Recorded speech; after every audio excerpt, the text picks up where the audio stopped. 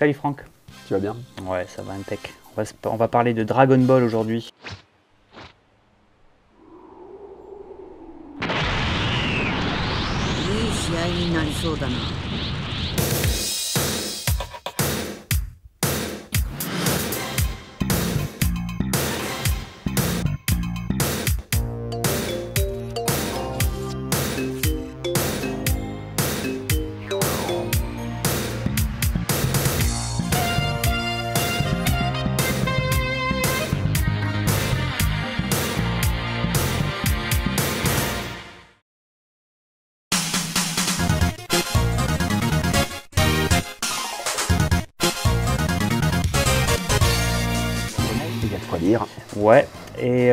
Puis on, va en finir un petit peu sur les, les publications japonaises, donc les magazines Jump, les mangas, un peu de jeux de plateau. Donc voilà, on va couvrir un peu tout ça. On va commencer par la NES, du coup, la Famicom au Japon. Ça a été la première console à être fournie en jeu Dragon Ball. Ouais. a eu une petite pelletée. T'en as, as un exemplaire ici, donc qui correspond à la version japonaise. que j'ai là. Exactement. Tiens, Donc c'est le seul d'ailleurs qui était sorti en Occident, enfin en France, euh, sur NES, qui était une sorte de copie de Zelda, on va dire, un Ouais, ça, gentil, un sous-Zelda, on va pas se mentir, ouais, parce qu'il n'était pas qui top était non plus. pas exceptionnel avec une musique redondante qui était vite pénible.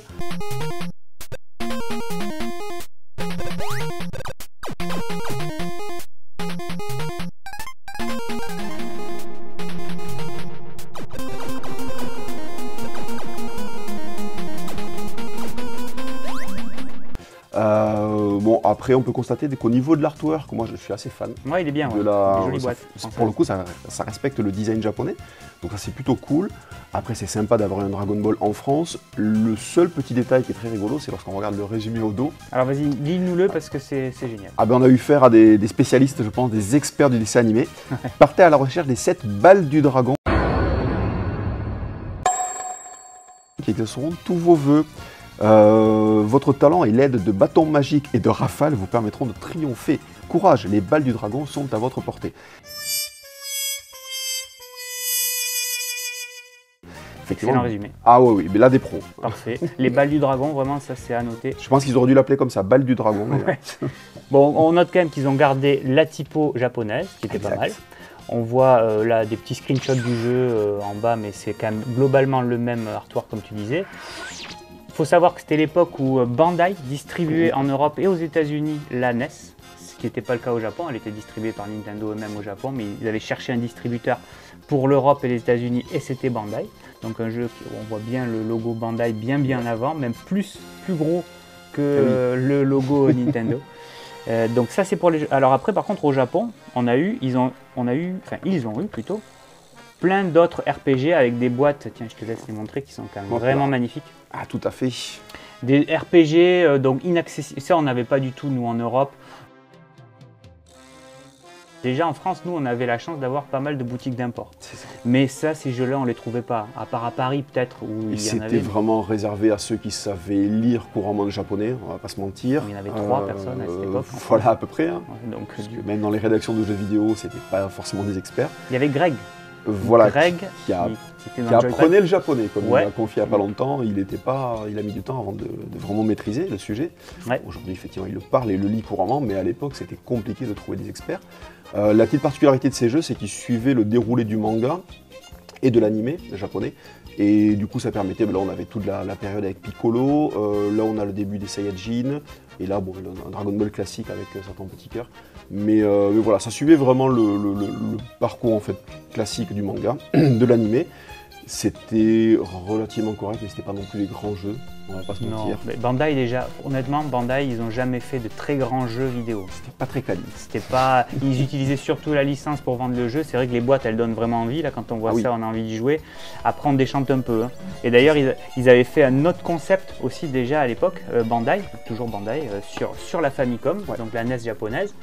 Un espèce de jeu d'aventure qui regroupait tous les héros euh, issus de Jump.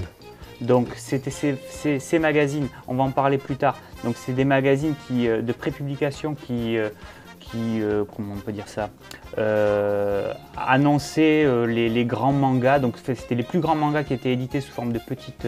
C'est ça. de Chaque semaine, il y avait voilà, quelques pages Ça permettait d'avoir un suivi au fil de l'année, de semaine en semaine, et un petit peu de voilà, d'appâter le public. Ouais, il y avait euh, allez, va, peut-être 20, 10, 20 mangas différents dans un ça. même jump.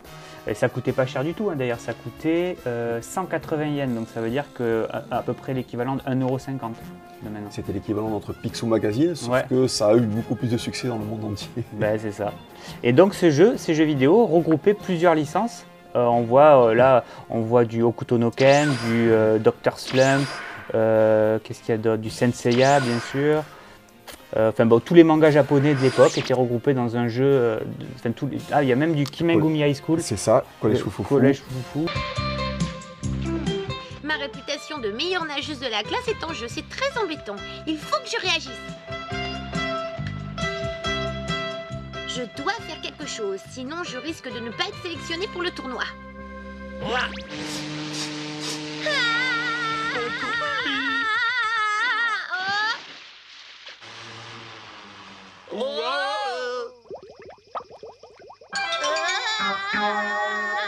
Ça c'était quand même très pointu, mais au Japon c'était très connu. Euh, voilà, donc les plus grands jeux vidéo étaient regroupés dans un jeu de rôle et après, plus tard, ils ont sorti un peu dans le même concept sur DS. C'est ça. euh, qui était d'ailleurs euh, pas mal, c'était des bons jeux. Les, Très sympathique, ouais, ouais. des- mais là c'était vraiment du, de la baston, là c'était des jeux d'aventure sur la Famicom, là c'était des, jeux de- des jeux de baston avec plein de personnages qui regroupaient les plus grandes licences. Donc à l'époque c'était One Piece, Dragon Ball et Naruto. Naruto. Voilà, c'était essentiellement ça. Et même s'il y avait aussi Hunter x Hunter, c'était quand même nettement moins connu euh, à l'époque, Hunter x Hunter euh, en France que, que ça l'était au Japon. Donc ça c'était pour les versions euh, NES. Euh, après, on a eu aussi les versions Game Boy. Euh, pareil, même principe, jeu de rôle, je crois, essentiellement. Ah, c'est ça, il y a eu plusieurs jeux, mais qui étaient essentiellement des jeux de rôle. Il y en a eu un également qui se joue avec des sortes de, de cartes. En fait, c'est un jeu de rôle avec des systèmes de combat par carte. Euh, voilà, donc qui étaient des jeux relativement corrects, encore une fois. Euh, Peut-être un petit peu plus sympa que sur la NES, mais c'était pas non plus des chefs-d'œuvre. On Ouais. va pas se mentir. Ça, c'était vraiment un jeu que dédié, dédié à Dragon Ball exclusivement. Et ça, on retrouve le même concept qu'ils avaient sorti donc, sur la Famicom, qui regroupe un jeu qui regroupe plusieurs euh, licences. Donc on voit Jojo, euh, Jojo Bizarre Adventure, Dragon Ball. Euh, alors ça, c'est le manga avec le flic japonais là, qui est un des plus longs, Yes. mais je me souviens plus de son nom. Bon bref, voilà, il y a plusieurs licences. Donc ça, c'est pour la- les versions donc Game Boy. Après, on pense à l'essentiel, donc la Super Famicom, l'équivalent de la. Super Nintendo Et qui est la console qui a été le plus fournie au jeu Dragon en jeu Ball. Dragon Ball, puisqu'on a quand même tout ça. Donc on en a 1, 2, 3, 4, 5, 6, 7, 7 jeux Dragon Ball, dont Alors, on va essayer de les montrer jeux de rôle plutôt. un par un. Euh, mais le tout premier qui est sorti, celui-ci qui faisait en fait suite aux épisodes de la NES, de la Famicom. Euh, donc pareil, qui suivait le, le- le- toujours pareil, le, le déroulé avec l'épisode de, de Freezer, tout simplement avec toute la phase Freezer. Ça donnait envie ça, quand on voyait ça dans les Ouais. magazines, on avait trop envie d'y jouer, mais C'est ça. tout en Jap. Visuellement, c'était relativement correct. C'était pas encore au niveau de ce qu'on pouvait avoir euh, lorsque la Super Famicom était à maturation, on va dire. Mais c'était à peu près potable. Après, c'était pas non plus le jeu qui allait faire craquer pour une console japonaise. Clairement, c'était pas euh, une killer app, comme on dit. Non, ça c'est sûr. Mais ça, c'était sympa. ça valait à peu près le coup. Euh, et ensuite, alors d'autres jeux de rôle, mais qui sont sortis vraiment sur le tard. Il y a eu ceux-là, qui était très sympa, surtout moi, j'aimais beaucoup celui-ci Ouais, qui était, pareil. hein. voilà, qui était Les visuellement jaquettes, très joli, vraiment très réussi. Euh, là, ça commençait à être des jeux très corrects, honnêtement, euh, assez quali, qui étaient un petit peu plus longs aussi euh, que les précédents, mais toujours pareil, réservé à un public qui savait parler couramment japonais. Il n'y a jamais eu de version ni américaine d'ailleurs. Non, ça, du crois. tout, du tout. Ça n'a jamais été traduit. Non, non. Dommage, c'était Bah, des, dis- ça avait disons- donné envie. Ouais, disons que Dragon Ball est arrivé très tard euh, aux États-Unis, ça arrive au début des années 2000. À partir de 98, il commençait à y avoir les prémices, et c'est en 2000 que ça a explosé. Donc ça fait déjà 20 ans pour nous, mais euh, C'est ça. à, à l'époque, nous, ça faisait déjà 15 ans. Surtout qu'eux, ils connaissent essentiellement Dragon Ball Z aux États-Unis. Ils connaissent pas, enfin, ils ont eu tout, mais c'est comme Ah c'était oui. apparemment, je crois, sur une chaîne câblée. euh, ça passait sur ça. une chaîne câblée. Donc déjà, c'était pas à la télé comme chez nous Non. au Club Dorothée. Donc c'était un public très pointu. Et ils ont connu les Saiyans, quoi, globalement, à partir des Saiyans. Bah, Pour, euh, pour mémoire, je crois qu'un des premiers jeux, si n'est le premier à être sorti officiellement localisé aux États-Unis, c'est Dragon Ball Final Bout sur PlayStation, Ah oui, qui en plus était une sombre bouse. Ouais, ouais, mentir, en 3D, était ouais. catastrophique en cata. 3D. C'est peut-être un des pires jeux de la licence, je crois. ouais, c'est vrai. Et surtout, on a eu ça au Japon et qui lui, pour le coup, est sorti aussi en Europe. C'est Dragon Ball, ce qu'on appelle communément euh, Action Game, euh, Dragon Ball Fighter, Dragon Ball Action Game, qui était le premier jeu de combat, on va dire à la Street Fighter 2, euh, ce qui ressemblait un petit peu plus à ce qu'on voyait dans les, dans les dessins animés finalement. Ouais. Avec des combats, avec des énormes échanges de Kamehameha, de Final Flash. Et ça, pour le coup, c'était la première fois qu'on avait un jeu déjà accessible au public occidental et en plus qui était relativement réussi. Ouais, il était, il était pas mal. Les personnages un peu petits. Il, on avait déjà l'écran splitté en deux, je crois, non? Voilà, alors, il y avait des super idées. Il y avait cette idée effectivement d'écran splitté pour pouvoir faire les, les boules de feu à distance, faire les, les grosses attaques. Donc ça c'était assez sympa. Il y avait également les parades, on pouvait renvoyer les attaques aussi. Ouais, ça c'était cool. Donc il y ça. avait plein de techniques qui étaient vraiment cool. Le casting était sympa aussi, puisqu'on avait à la fois Freezer, on avait Perfect Cell. Euh, donc vraiment très chouette. Un bon petit jeu. Ça faisait pas de long Marcel Fighter 2, mais clairement c'était un jeu qui était très, très jouable, très intéressant à creuser. Et en plus on avait une super bande son. Ouais, mais ça valait pas celui-là.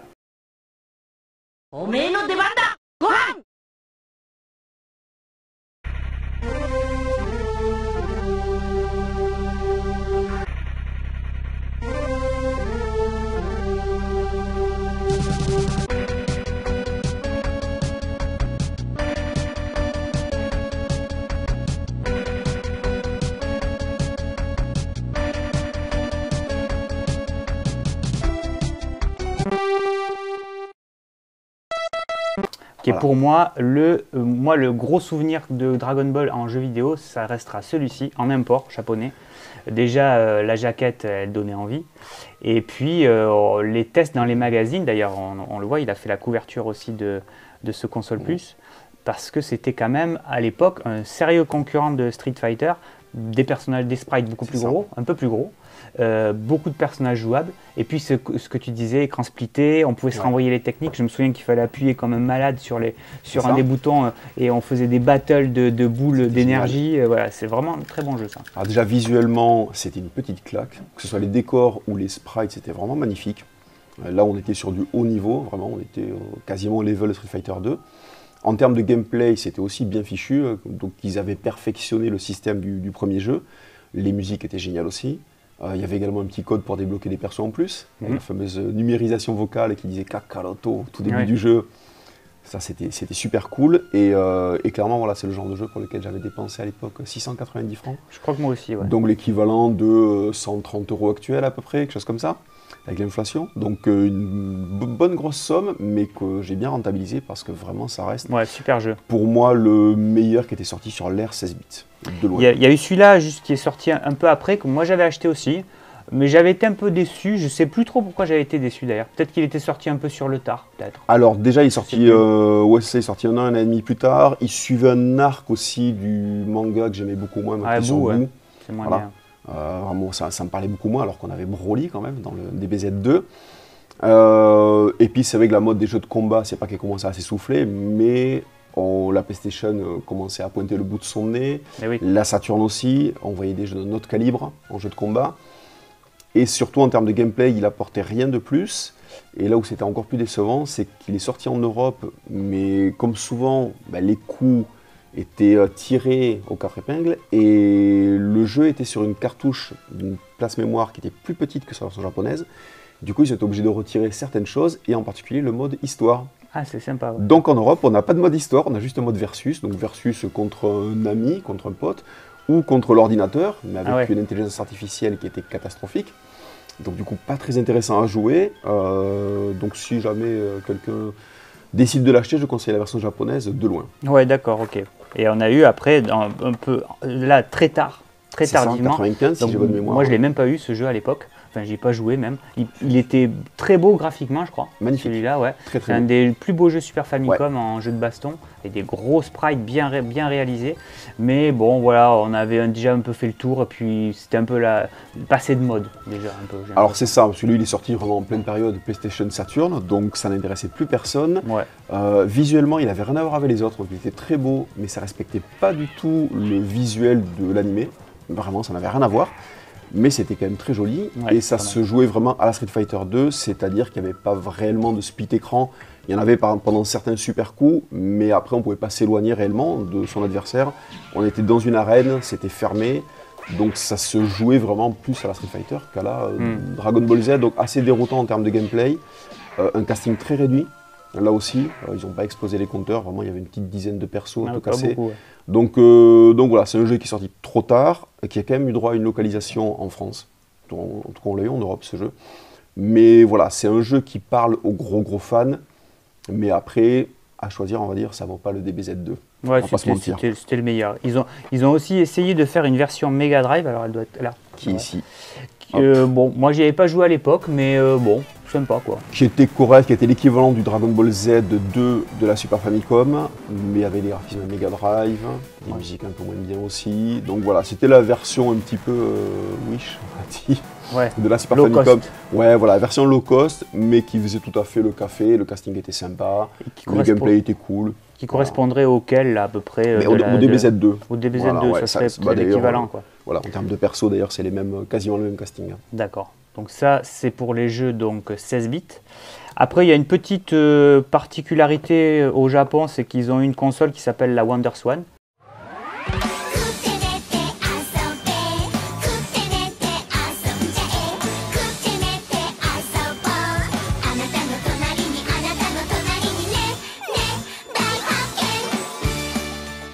qui avait été fait par Bandai, euh, donc l'équivalent un peu d'une Game Boy, mais qui est sorti qu'au Japon. Mm. Euh, une console sans aucun intérêt pour les Occidentaux, d'ailleurs qui n'est même pas sortie chez nous. Ça, Elle est sortie que sur l'archi japonais. Et il n'y avait pratiquement aucun jeu d'action sur cette console. C'était que des espèces de movie game en gros, où on pouvait euh, euh, un peu des, des jeux d'aventure, mais sans intérêt pour nous, mais qui Ouais. utilisaient des licences Voilà. cultes.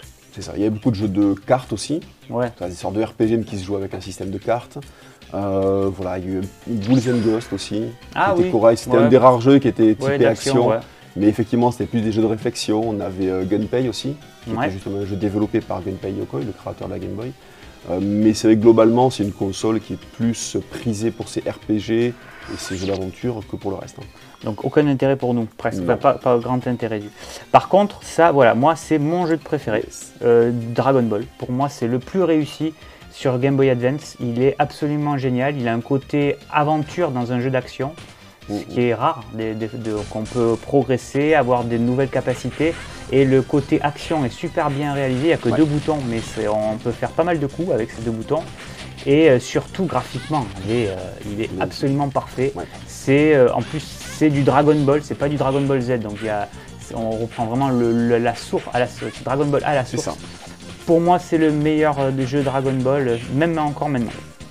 Donc voilà, je sais pas si tu as une anecdote sur ce jeu. Ah, Sur celui-ci, non, mais c'est vrai que ça fait partie de ces jeux qui avaient l'intelligence de se dire on va pas capitaliser sur le côté euh, euh, impressionnant de Dragon Ball Z avec des énormes Final Flash, Kamea et compagnie, et revenir plutôt à la source de ce qu'était Dragon Ball, vraiment avec ce petit côté enfantin, ce petit côté euh, joli visuellement, voilà. Et comme tu dis, c'est une petite friandise visuelle et à jouer, il est simple, mais il est efficace. Ils ont jamais, d'ailleurs, j'ai jamais compris pourquoi euh, Bandai euh, n'avait jamais, ou Bandai, ou là c'est Banpresto, mais c'est Banpresto c'est aussi Mhm. Bandai, ils ont jamais réussi à refaire ce, ce genre de jeu sur des consoles récentes, je sais pas pourquoi. Oui, parce qu'il y en a vu un sur la Wii, mais qui était voilà, pas exceptionnel non plus, qui se, qui se, qui se calait vraiment sur l'arc Dragon Ball, Ouais, mais pas- pareil, c'était pas, des top, grands hein. jeux. Non, du tout.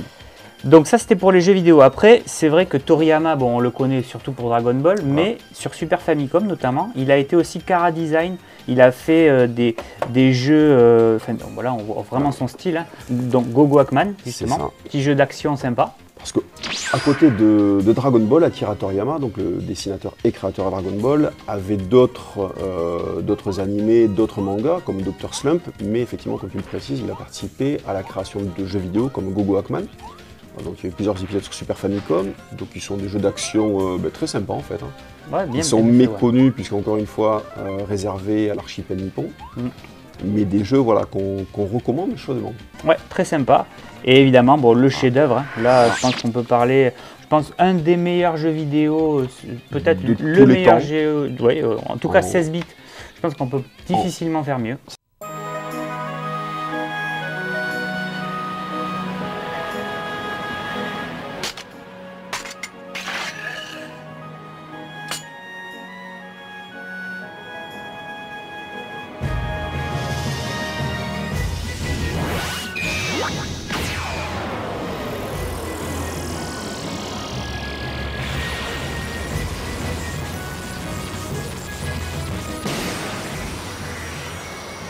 Si c'est en RPG, ça reste euh, un des trois meilleurs RPG au monde, peu importe comment. on- Ouais, musique euh, impeccable, une des meilleures OST, tout OST confondu. D'ailleurs, je recommande euh, aux gens qui ne connaissent pas d'aller écouter la bande son, elle est, elle est fabuleux. Alors graphiquement, là, on est au top de la Super Famicom. C'est ça. On peut pas faire mieux en pixel art. Ceux qui aiment pareil les pixel art, on parlait de la Neo Geo ou euh, avec des jeux comme Metal Slug qui était euh, la, la quintessence du jeu 2D. Là, on a la quintessence du jeu en, en jeu de rôle. On peut pas faire mieux. Il est, le jeu est profond, on voyage dans le temps. Il y a plusieurs des variations de décors, de tout. Enfin, c'est fabuleux. C'est magnifique. Donc voilà, donc ça, euh, magnifique jeu. Donc ça, c'était pour les jeux qui étaient euh, illustrés et, par, euh, par Akira Toriyama. Euh, et maintenant, on va faire un petit aparté sur les magazines Jump. On a commencé d'en parler un petit peu, mais c'est vrai qu'on n'a pas du tout eu ce concept en France. Les magazines Jump ici de prépublication. Exactement. On n'a pas eu cette chance, donc cet Non, honneur. donc euh, des magazines quand même très épais. Euh, alors après, je sais pas si tu peux en ouvrir un, on va voir que la qualité du papier, assez, ouais, c'est quand même très épais. c'est du lourd. Et alors par contre avec une qualité de papier très moyenne, très cheap dans la qualité de papier. C'est ça. C'était le concept. hein. Ah ouais. Donc ça permettait d'avoir euh, quelques pages en exclusivité. C'était les premiers, enfin en exclusivité, c'était là où on découvrait les, les mangas dans ce magazine. Il y avait Quelques pages en couleur de temps en temps, mais Ouais, très aussi, peu. ouais. Et euh, donc ça permettait de se faire une idée. Et puis après, une fois qu'on avait eu quelques épisodes du manga sorti, parce que ça, je crois que c'était c'était toutes les semaines. C'était hebdomadaire. Hebdomadaire. weekly, euh. Euh, donc une fois qu'on avait par exemple, il y avait à peu près 7 pages de Dragon Ball dans un, dans un truc comme ça. Donc euh, je sais pas, au bout de quelques mois, on avait l'équivalent d'un tome. Et là, le tome sortait sous forme de manga au Japon. Donc ça ici, c'est la première édition du Dragon Ball, l'original. Donc ça c'est le first print, donc le, celui qui est sorti ben, dans les années 80. Donc ça coûtait 390 yens, un, un manga au Japon à cette époque, c'est-à-dire 3 euros à peu près. Ça va. Je te, je te le rachète. Oh, bah écoute, c'est- ça ne sera pas nécessaire. Et euh, donc euh, la collection complète et le dernier volume, le 42, je crois. 42, exactement. fini au 42. Voilà, donc ça c'était pour les mangas. Euh, qu'on a eu en, en France, alors réédité de nombreuses fois, de nombreuses fois pardon, euh, par Glénat. euh, Oui. Avec les, les premières éditions qu'on appelle les éditions couleurs, puisque les, les jaquettes sont avec des couleurs, des, des- des teintes rose, bleu ciel, des teintes très, très jolies, très pastel. Ils ont arrêté récemment ces éditions-là, donc qui maintenant sont introuvables, et qui étaient dans le sens de lecture français. Voilà. Et depuis quelques années, ils ont refait avec les jaquettes japonaises, donc vraiment des éditions très respectueuses à la fois du sens de lecture et des artworks originaux, C'est ça. que j'aurais tendance à recommander. Ouais, ils sont super bien, ils sont super belles. Maintenant même, on trouve dans les librairies françaises, j'ai vu qu'ils avaient, ils, ils distribuaient le, le numéro 1, le tome 1 en japonais aussi. De Naruto, de Dragon Ball, ouais, celui-là, là, la même Mais chose. pour ceux qui veulent s'y mettre. pour ceux qui veulent aussi avoir les bulles japonaises, enfin voilà tout ce qui fait le charme des, des mangas japonais. Et, euh, et moi je me souviens que à l'époque j'avais acheté, alors qu'au Club Dorothée Ah bon, on était peut-être, euh, je sais plus moi, genre freezer à peu près, Mhm. et j'avais acheté en import le tome qui parlait de sel. Euh, donc je comprenais rien à l'histoire, mais c'était les premiers mangas importés euh, par des libraires français, mais tout en japonais. Donc on- je me souviens qu'on avait quelques potes, avec quelques potes, on en achetait rien que pour les feuilleter et découvrir l'histoire en avant-première. Parce qu'à l'époque, ils étaient C'est vrai. au- du Club Dorothée, je crois pas qu'on ait eu l'édition Glénat à cette époque. On avait Euh, pas. L'édition Glénat, c'est sorti en 94. Ouais, donc après euh, la diffusion Donc ça de déjà un petit moment. Ouais, qu'on voilà, c'est ça. Donc ça, c'était les mangas. Et après, au Japon, bien sûr, ils ont eu des, des- des- des choses extraordinaires qu'on a eu, qu'on n'a jamais eu, pardon. C'est très beau ça. Alors j'en ai pas mal. Là, j'en ai apporté qu'un seul, mais il y en a énormément des jeux de plateau Dragon Ball, avec des plateaux euh, absolument géniaux, hein, des cartes. enfin, je comprends pas pourquoi jamais personne n'a édité ça en France. Ça aurait eu du, du succès, comme au Japon. Des beaux jeux de plateau Dragon Ball. euh, je sais pas si on en a eu en France, je crois pas. Des jeux de plateau. De mémoire, croit, je pense pas. pas non plus. Très honnêtement. Donc voilà ce qu'on pouvait dire aujourd'hui sur Dragon Ball. Euh, la prochaine fois, on se fera une émission plutôt sur les figurines. Ah oui, Tu nous as pas parlé de cette jolie non, chose. Ouais, ça c'est très joli, c'est sorti très récemment. C'est à l'occasion de la sortie de la Famicom Mini. Euh, donc on a eu la NES Mini ici, Mhm. la Famicom Mini au Japon. Et ils ont fait une édition euh, Jump. Donc euh, c'est la même Famicom, mais elle est dorée. Parce qu'ils aimaient bien aussi, je crois qu'il y a des jeux Dragon Ball en version dorée qu'on pouvait gagner sur des concours au Japon. Donc il y a un truc avec le doré au Japon qui signifie euh, un peu une rareté. Donc voilà, ils ont sorti une version Famicom. On voit bien que c'est la version Jump. Parce que là, on a le logo mythique de Jump en japonais qu'on retrouve là-haut. Ouais. Donc très belle édition pour le C'est- 50e anniversaire de Jump. Ouais, c'est vraiment super sympa. Pour le coup, avec des jeux exclusifs cette édition-là. Ouais, très très beau. Enfin, j'ai dit 50e anniversaire de Jump, je crois que c'est ça. Il me semble que je vois un 50e anniversaire en bas là. Il me semble que c'est Jump. Il faut semble, pas que je dise de bêtises parce que je, suis pas- je pense que c'est à peu Ah, près ça. c- ça collerait à peu près. Et dernier truc, c'est le CD audio. Parce qu'en France, on n'avait pas de CD audio officiellement distribué des animés. C'est ça, c'est-à-dire que Bernard Minet n'a pas. Oh, il devait y avoir peut-être des, des petits vinyles. voilà. Mais, Mais, pas des CD audio. J'ai je un, gros doute. Explique-nous un petit peu. Mais ça, c'était les singles au Japon. choses. Ouais, c'était génial. Voilà. Déjà, on a eu des mini CD, nous en France, comme ça on en a eu. Mais au Japon, c'était la forme caractéristique des singles, c'était ce format-là, un peu euh, comme ça, rectangle. Donc ils sortaient aussi des, des CD deux titres de Final Fantasy, par exemple, au Japon. On n'a pas eu, nous, bien sûr. Mais à l'époque, on pouvait acheter des CD deux titres de jeux vidéo et d'animés. Alors qu'en France, on n'avait euh, que des, des CD audio de titres de groupes euh, de musique, Mm. jamais de Exactement. tirés d'anime. Tout à fait. Et c'est arrivé en France, si j'ai bonne mémoire, autour de 91-92, pas avant. Parce que je me rappelle, moi, le premier que j'avais eu de mini CD, c'était un mini CD de Sinclair qui était filé Oui. pour la promo du méga CD. Tout à fait, je m'en souviens Voilà. aussi. Ouais, effectivement. Et on avait en plus les paroles à l'intérieur. Ouais, les paroles avec le magnifique chanteur. Quel charisme. Voilà, bah écoute, on va se quitter sur ça, sur euh, le mini CD, et la, la- la prochaine fois, on se fera une émission sur les figurines Dragon Ball. Fabuleux. À bientôt, Bye. ciao.